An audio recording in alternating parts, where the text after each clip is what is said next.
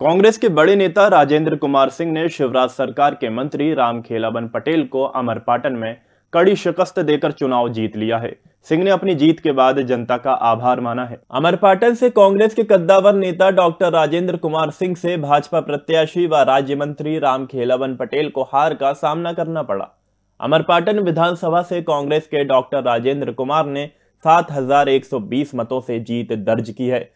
राजेंद्र सिंह ने अपनी जीत का श्रेय पार्टी कार्यकर्ताओं और क्षेत्र की जनता को दिया है। सब मतदाताओं के हम बहुत बहुत आभारी हैं।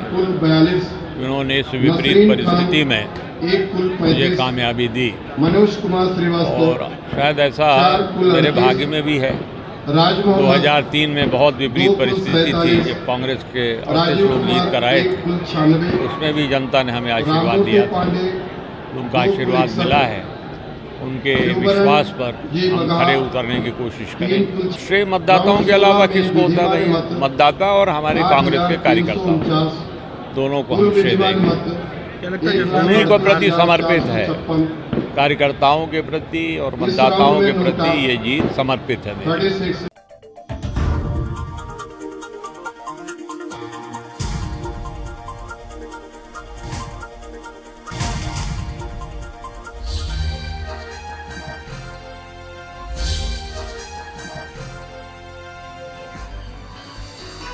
आप देख रहे हैं दखल न्यूज़।